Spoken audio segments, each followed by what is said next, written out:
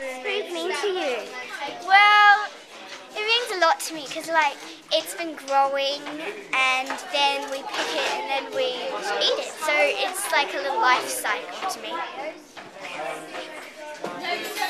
What food means to me is that you can make yummy things.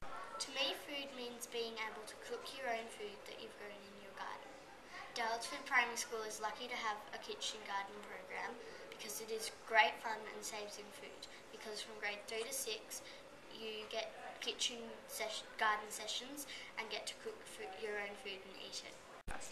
Food means lots of things to me because it is fun to grow um, produce in the garden because when you cook the produce, you know that it is preser- preservative free. Important because without food we would be dead. I think that getting food out of the garden and cooking is sustainable. Food also gives us fuel so our body works properly and we can get energy. Working in the garden is fun because you get to use the food that you grow in the garden in the kitchen and then eat it. When there's no preser- when we go out of our garden, we know there's no preser- preservatives in it. Working in the garden is fun because everything that grows well is cooked in the kitchen. To me, food means life because it gives you energy. What does food mean to you? It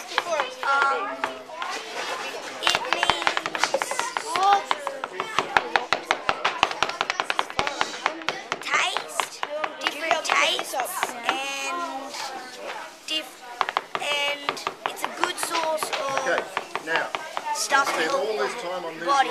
herbs My mum always says, "You are what you eat, so eat ethically."